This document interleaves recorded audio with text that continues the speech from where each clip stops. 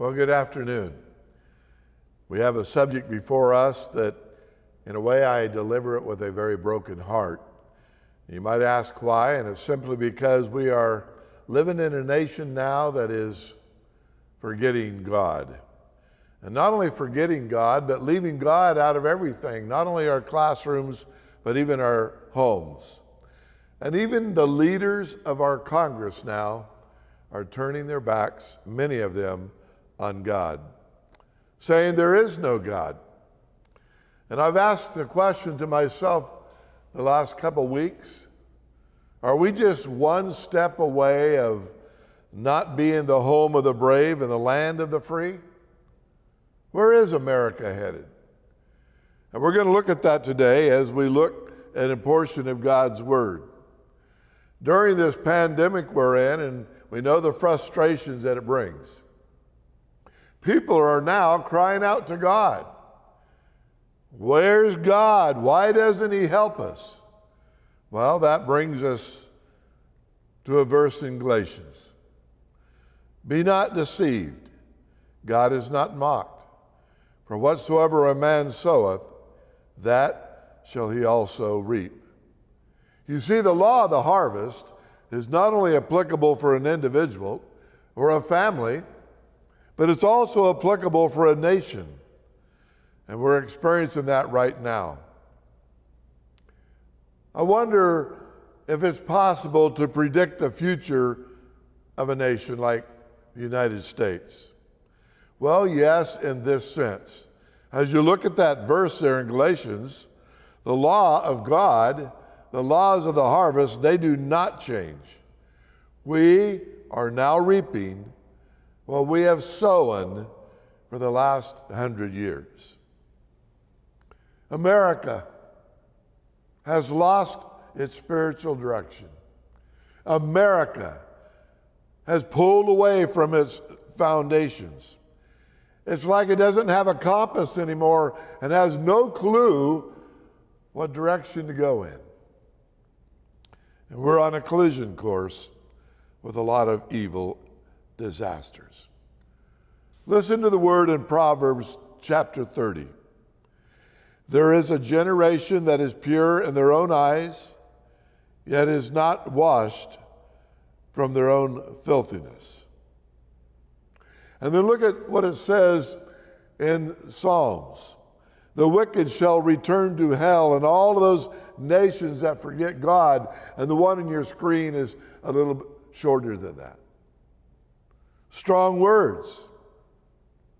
And it has been said by some very wise people that every nation is only one generation away from paganism and anarchy, or a society without any more government rule. And we are going down that path, aren't we?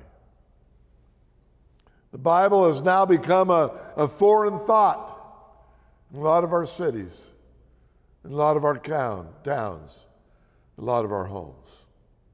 We're in that generation.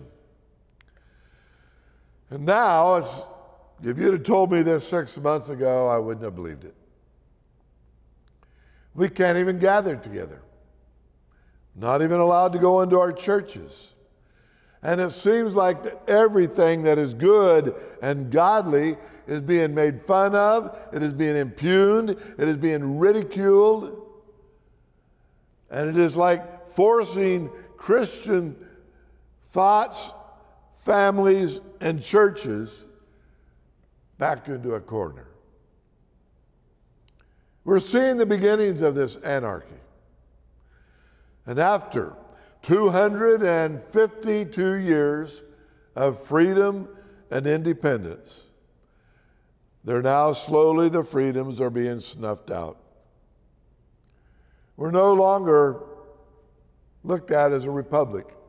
We started that way, we were a republic. A nation that was based on unchangeable laws of God and, and good laws set up by men. But now we are seen as a democracy. Where slowly that the rule is determined about the mob or the masses, and they make the laws. And the right and wrong is determined by those who scream the loudest. And that's a shame. Our leaders today in America are starting to really wink at sin and injustices. And the sad thing is, even the body of Christ, in the last hundred years, it seems like we have been become softer and softer on sin. Leaders compromising the Word of God everywhere you look. If I had three chairs sitting out here, and the first chair would be the chair of conviction, the second chair, the chair of compromise, the third chair, the chair of confusion, you can see quickly what has happened even in our churches. At one time, there were strong convictions and a little bit of compromise led to what? Confusion.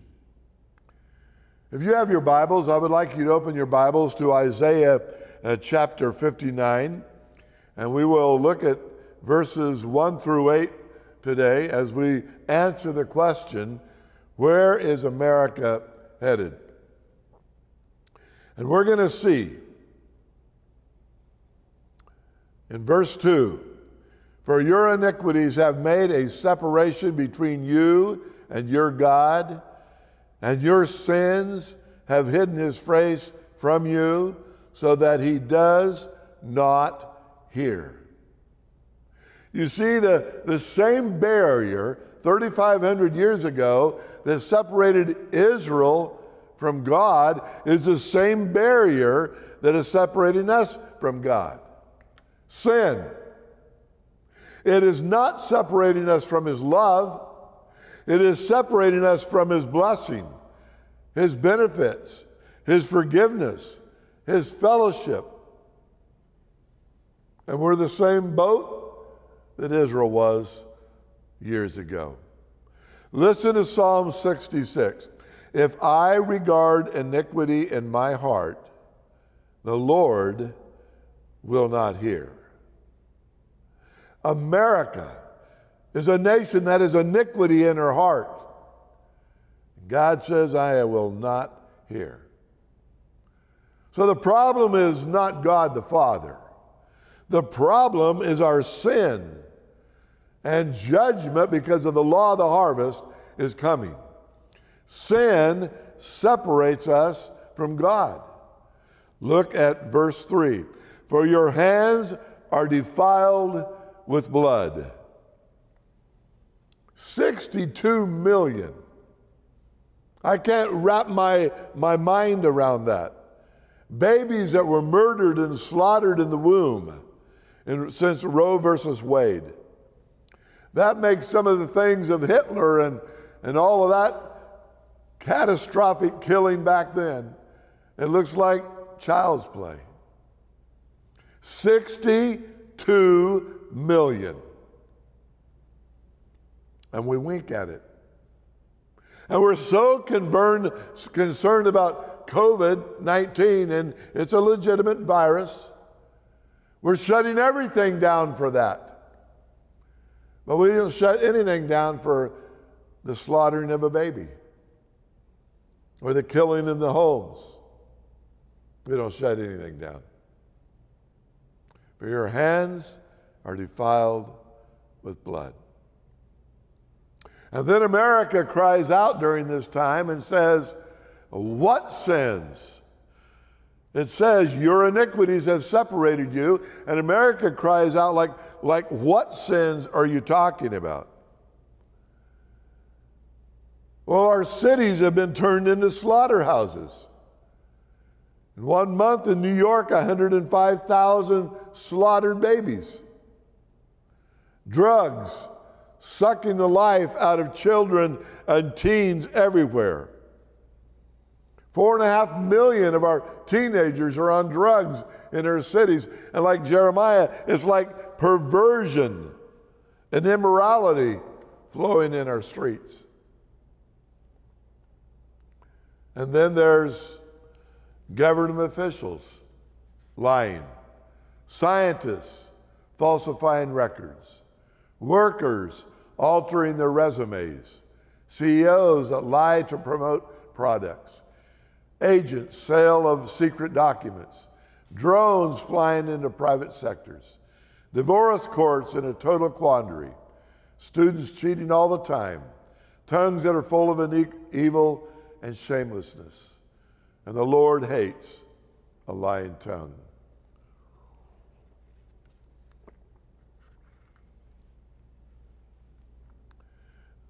I want to look for just a moment of what has happened in the United States of America in the last 60 years. But I want to preface it with Isaiah as we look down at verses 3 and 4 now. If you have your Bibles, follow along. Your lips have spoken lies, your tongues have muttered wickedness. No one enters justly, no one goes to law honestly. They rely on empty pleas, and they all speak lies. And they conceive mischief, and they give birth to iniquity. Notice what has happened in the last 60 years. 1962, Supreme Court says no more prayer in our schools. 1963, no Bibles. And the classrooms followed real close, didn't it? 1980, the Ten Commandments were taken out of every classroom. 1982, they took the teaching of creation by God out of the classrooms. 1990, the handing out of free condoms to girls in high school. 2005, teaching that a man with a man and a female with a me- female is a normal lifestyle for our nation. 2006, the teaching of Wiccan and witchcraft is a viable and a comforting religion. 2008, excuse me, high school girls can receive private funding for any abortion with no parental knowledge whatsoever.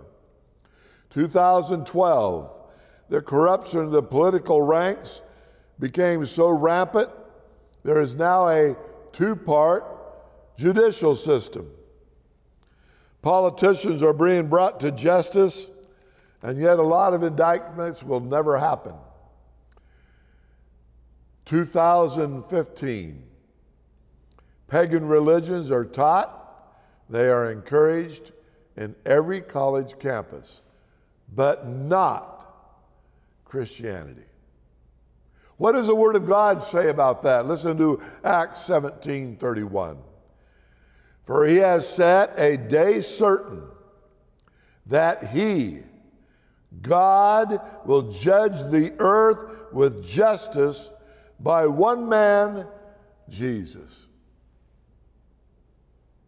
He'll be back and he'll bring that judgment. And then there's the rapid moral decay of our families.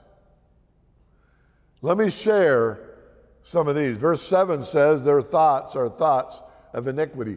Think about the deplorement, deploring things that are happening in the family home.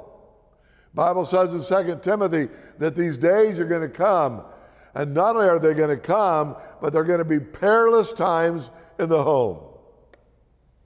Violent crime, 480% increase in the last 50 years. We used to be able to walk in any city at night. In my lifetime, never a problem. Not today. Federal prisons are up 490% in 50 years.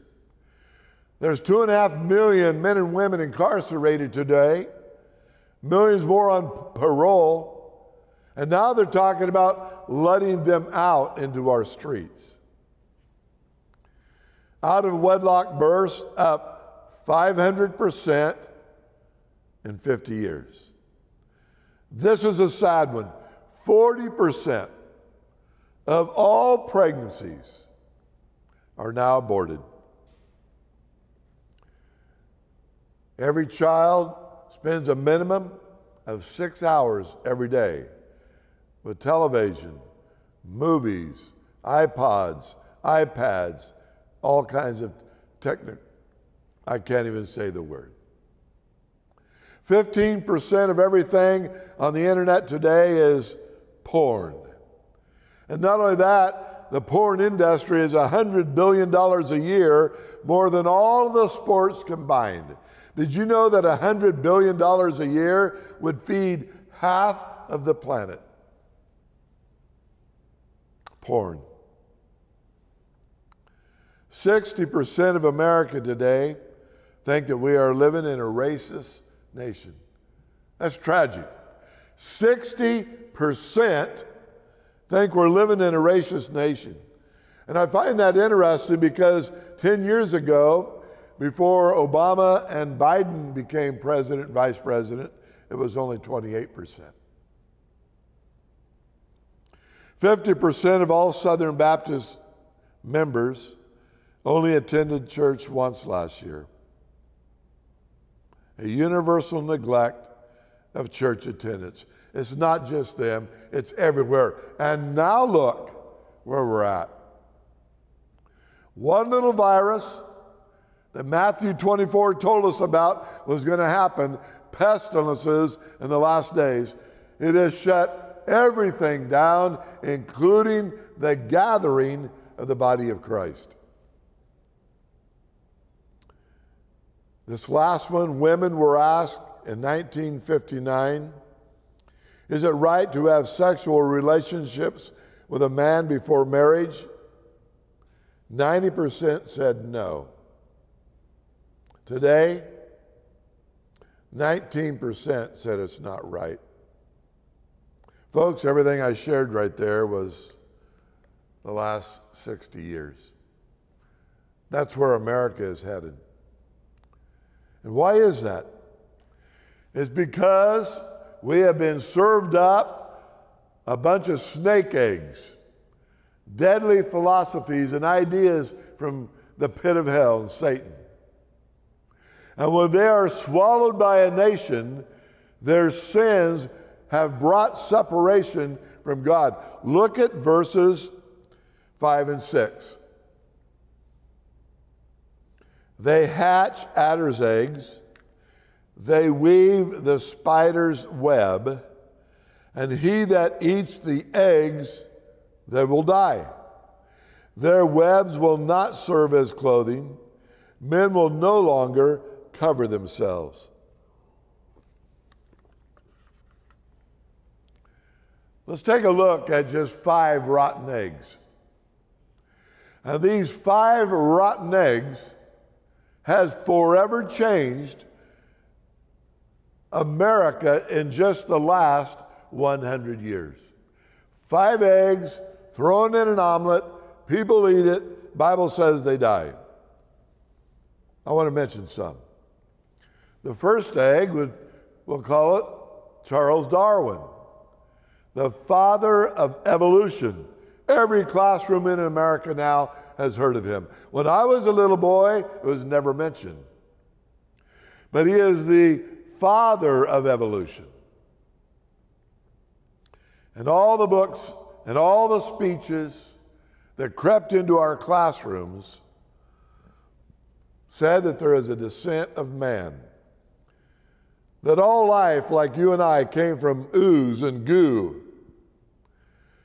and just by random chance, it took a billion years to go from a frog to a princess. Now, we can laugh at that, people believe it. Listen to a quote from Charles Darwin A scientific man ought to have no wishes, no affection, just a heart of stone. That's pathetic. Here's another one. You ever heard of Sigmund Freud? He's the father of modern psychoanalysis. He's the one that said God is just in your imagination, and God is only needed by the dumb and the weak population. And people fell for it. He says, Man is truly only motivated by erotic sexual pleasure. And there should be more of an encouragement for the gay and the lesbian communities. Let me give you two of his quotes. A cigar at most times is just a cigar. That's kind of stupid, really, isn't it? If you go from air to air, you will soon be led to complete truth. That's a dumb egg. Here's another one Karl Marx, the father of communism, Marxism. We hear it everywhere now in our mobs and our things that are going on in our cities. He's the one that wrote the Communist Manifesto. He is the one that has always advocated atheism. He's the one that said in his lifetime all of the Bible and God would be out of Russia. Well, that has not happened. God's still in Russia. He did everything he could to dethrone Christ. Listen to two of his quotes. The last capitalist that we will hang shall be the man that sold us the rope. Religion is the opium of the people. Religion is the sigh of the weak and the oppressed. That's a sick egg. Here's another one George Hegel, the father of the Hegelian philosophy. What is that? He's the one that said that there are no absolutes in life. Boy, try that with the Word of God. And it has crept into our Christian colleges no absolutes. Everything's relative. Let me give you an example. Well, his famous quote, he actually says, There are no absolute truths in life. This is the way he did it. You have a thesis, and then you have an antithesis, and then you challenge the truth with a synthesis, and then you meet in the middle, and that becomes a new thesis with a comprised compromise truth.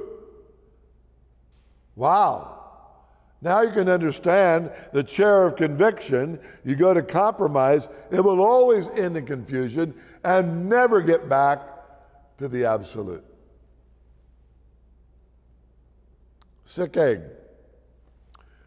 Ludwig Feuerbach, the man that said there is no God, and yet he wrote a very popular book called The Essence of Christianity. And the essence of that book was secular humanism. He said these words There is no God. There is just a great inner desire that needs to be expressed and followed by each individual. He made a claim that Christianity would fade away and soon vanish from the planet. Now, this is just five omelets that we have mentioned and has been served up by billions. And I'm going to show you a picture of some of the people that ate these omelets and these bad eggs and they died spiritually. These are the rotten omelets. And they're still being served up to our children and to our grandchildren. Look who ate them. Hitler, Stalin, Idi Amin, Madam O'Hair, Muhammad, Jim Jones, Sun Moon, Mary Baker Eddy, Joseph Smith, and you could have hundreds more that have bitten into the omelets and they've died. The Bible says the nation that will not serve God, that nation will perish. Yea, those nations shall be wasted. Are we heading there? And yet, folks, it saddens me. I've got to mention another omelet. You and I are part of this one. Sometimes it's so easy to blame all these sinners. And these are very obvious rotten eggs. But they're just doing what they do, they sin.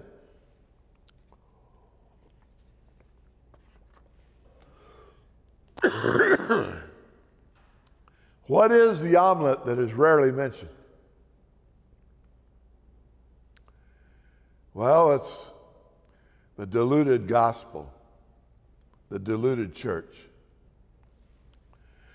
Gospel light, that's everywhere today, isn't it? Great taste, but less, less filling. The offense of the cross has been removed. Why did Sodom and Gomorrah be destroyed? It wasn't because there was too much sin. The reason Sodom and Gomorrah was destroyed, there was not enough salt in the city. And for the last hundred years, shame on a lot of our churches. Being watered down and compromised with the truth. And true Christianity is now being ridiculed and vilified and hated.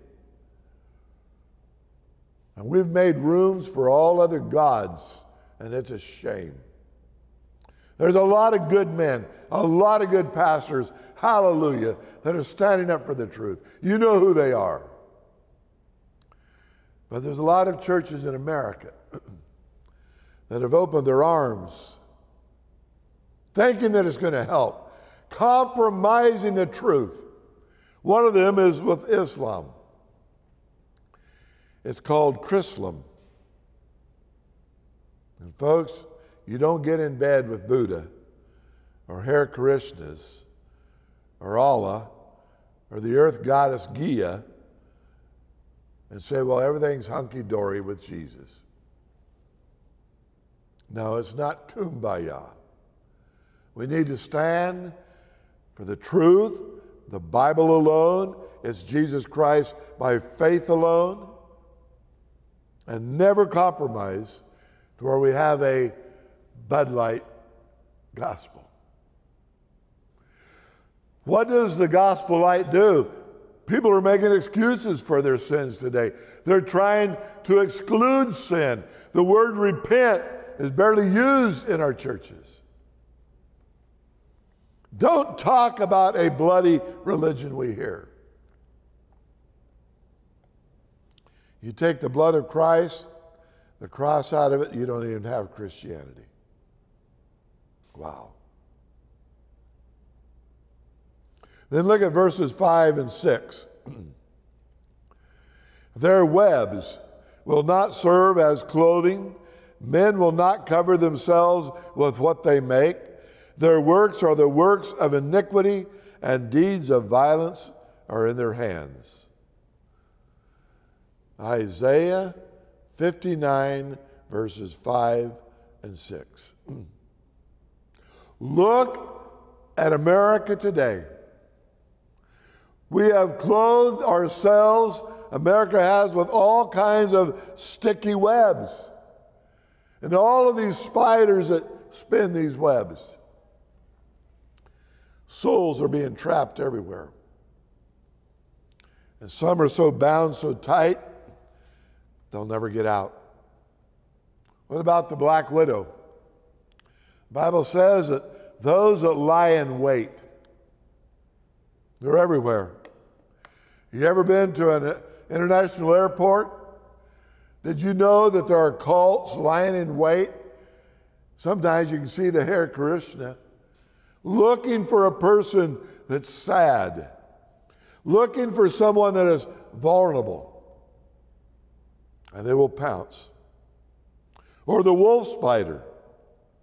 They actually chase their prey down and bring them into the web. Politicians are doing that today. Cults knocking on door to door, dragging men and women into their webs. Well, those are some ugly ones there. Crab spider, waiting to pounce, waiting to pierce. Again, all kinds of false religion or about the jumping spider. Waiting to jump. There's all kind of mobs today and, and gangs. There's 33,500 gangs in America this afternoon. 33,500. street gangs, prison gangs, motorcycle gangs, nearly 2 million in the gangs, like jumping spiders, wreaking havoc wherever they go. And then you got the nice little garden spider. They just bounce the web. Folks, that's maybe one of the most dangerous. Oh, they don't bite you, they just bounce the web. In other words, they will entice with something so simple at any moment, you don't even know you're caught till maybe five years down the road. Let me give you a few sticky webs. Sports. I love baseball, I love basketball, I love all of them. But it becomes a web that traps me. Every one of these sticky webs have brought people into bondage where they never see Christ. and there are some pretty sticky webs out there. It doesn't matter if you're talking about the Hollywood industry or the games played and offered today, or even call some of the sticky webs like the media and the chat rooms and porn and movies. And what about the webs of the drugs in all forms, illegal and even legal ones? What about the secret societies? The Illuminati, the Templars, Argaduna, the Order, the Bilderbergers, Trilateral Commission, the Freemasons, Skull and Bones. All of these are secret societies. And sick things like this amoral and immoral teachers saying that sodomy is fine and children everywhere practice that every practice that feels good just do it why because children need to flex their wings no they don't they need to be under the authority of godly parents that's where we're at. Isaiah 59, 7 and 8. Head on collision. Listen to the words of Isaiah 7 and 8. 59, 7 and 8. Their feet run to evil, and they are quick to shed innocent blood. Their thoughts are thoughts of iniquity. Desolation and destruction are in their highways. the way of peace these people do not know. Justice is turned back, and righteousness stands far away. For truth has stumbled in the public squares, and truth is lacking. That's just last week in Portland, Oregon. And we remember what happened a few months ago in Minnesota. People burning down squares and towns and businesses. And those same, same pagan forces, they're everywhere. Some are subtle, even. I'm sorry, folks, but these are sources of pagan webs. And they're trapping people at every turn. Where's your children? Where's your grandchildren getting their truth? If it's not at the family altar with dad and mother reading their Bibles or at church, they're going to get it on one of these. And does that concern you? It so upset me that a few years ago, it took me a couple years, I wrote a book for my nine grandchildren. I only made about 10 or 12 copies, gave one to my dad and a couple of my friends. And the book is Google or Grandpa. You're going to run to Google or you're going to run to Grandpa. Now, I got grandchildren. Some are married, some are teens, some are very small. But inside of this book, I have 80 pages of what I believe on 50 of the most maybe sensitive subjects. It's what I believe, what the Word of God says, and they do. They read it once in a while. Now, you can run to Google or you can run to Grandpa.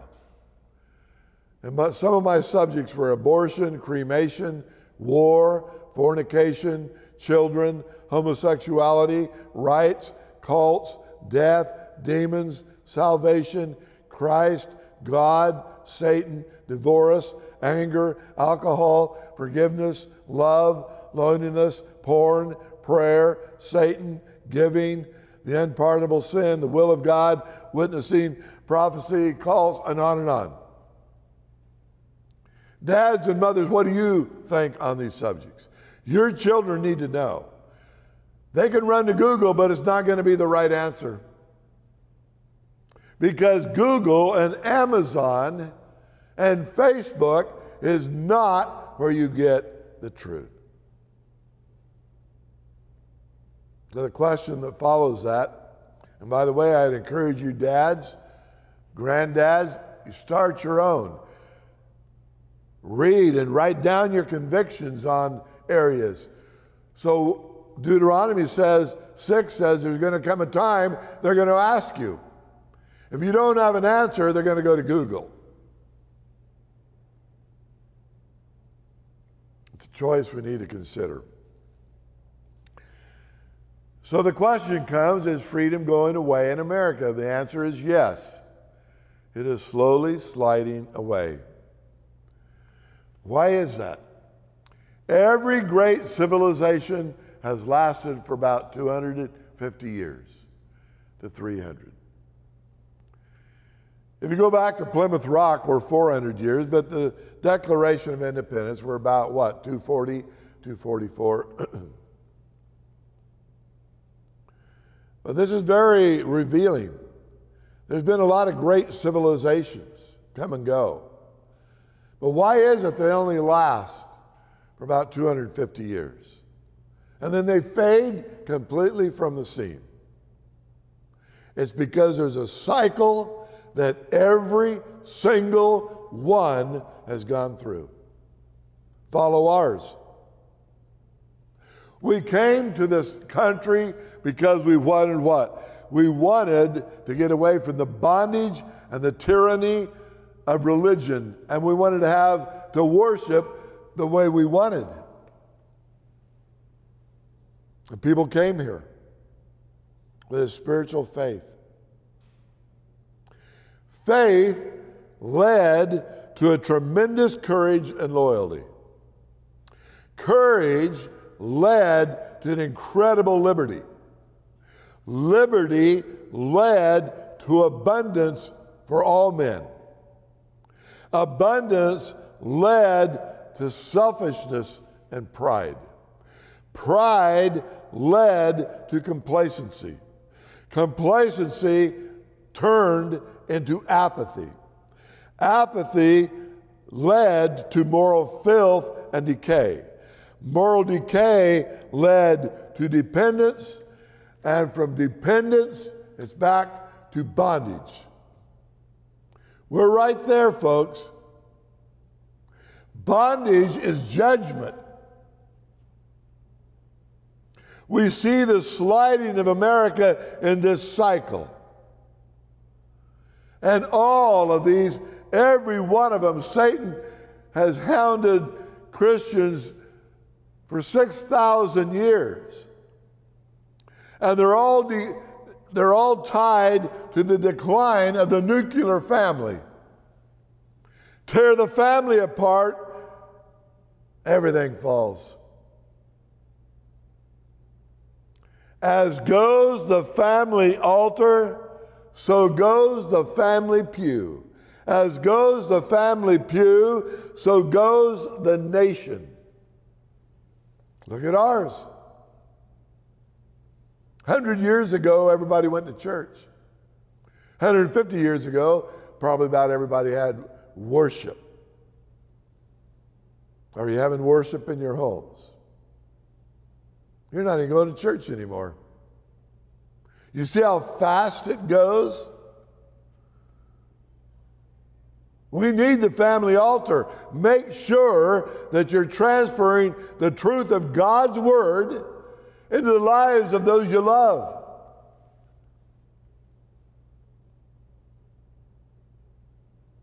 What is the key to survival?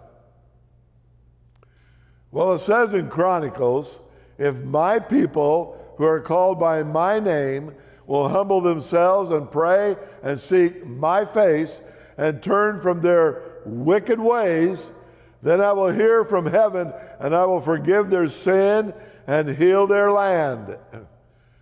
The key to survival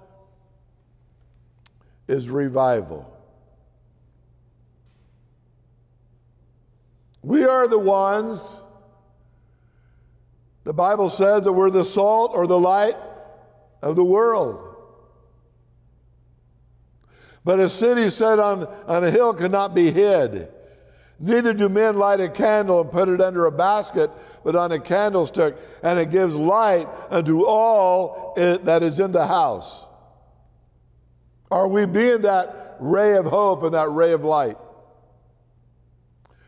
1 Peter 4 17, for the time has come, America, that judgment must begin at the house of God. Are we there? We begin by repenting of our own sins. And for the sins of the nation, we cry out to God. We begin by making sure that we are in the center of God's will, repenting and confessing and reading and praying. We begin by not contributing to the sins of the nation and compromising the truth. We begin by making sure our children and grandchildren are reading their Bibles in a systematic way. We begin by pulling the plug every once in a while on news media consumption and read the Word. We begin by letting the family know that the greatest asset that they have on the planet Earth right now is the body of Christ, the church. You know what makes me sick? I looked at some statistics back in January and February. Did you know that church attendance for the first time in 30 years, it was on the rise.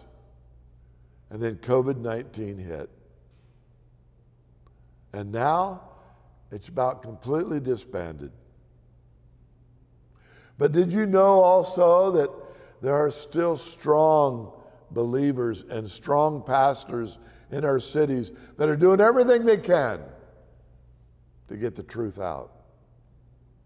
Did you know that the same pagan forces that faced Elijah on Mount Carmel, the same pagan forces that faced the Apostle Paul on Mars Hill, is still the same pagan forces that are battling your home, your community, where you live. It doesn't matter if you're talking about Modesto, Quinter, Kansas, Covington, it doesn't matter. It's everywhere. And Paul's letter to Timothy is so strong for us today. Listen to what it says in 2 Timothy 3. you, however, must continue in the things that you have learned and be confident about. You know who taught you, and how from infancy you have known the holy writings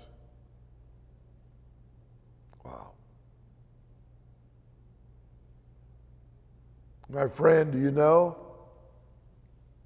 the things that God wants you to know? That's a simple question. do you know the things that God wants you to know? Do you know that He is the creator of all things and you will never budge from that? He did create in six days the whole planet 6,000 years ago. Don't budge from that. Know that He loves you and He chose you. Don't listen to the lies of the devil. Read the word. God loves you. He chose you. He will never leave you. He will never forsake you. Know that He wants us to glorify Him in these bodies. He says, I want you to present your bodies as a living sacrifice. Don't be conformed to the things of this world. Be transformed by the renewing of your mind. It comes from the Bible. Know that He wants us to love, live, and look for His return. Wow. Bible says, be patient. Sometimes it's pretty hard. I'm, I'm a very impatient man. But he says that in James be patient, establish your hearts, for the coming of the Lord is drawing nigh. Drawing nigh. Someday soon. Folks, we're living in a still a wonderful country. But we need to do our part as believers to do everything we can to stand for Christ, live for Christ, share Christ. Because I think the imminent return of our Savior is very, very close. Let's pray. Father, uh, thank you, thank you for this little study that uh, we did and shared. Father, we know that there's, there's no shortage of sermons and books or writings on the last days. And Father, forgive us if, if it just seems like a bunch of speculation and, and, and sensationalism, but Father, we trust what we shared was the truth out of Isaiah. Thank you for the prophet Isaiah. Thank you for the warnings that he gave us thousands of years later. And Father, help us to repent as a nation. And we pray for the leadership of this country. We pray for the leaders of our churches. We pray for the dads and the moms and the grandfathers and the grandmothers to stand bold, to stand in the gap with the truth of the gospel. And Father, help us to be ready for whatever comes in the months and the weeks ahead. And thank you for the promise of that eternal home. In Christ's name we pray. Amen.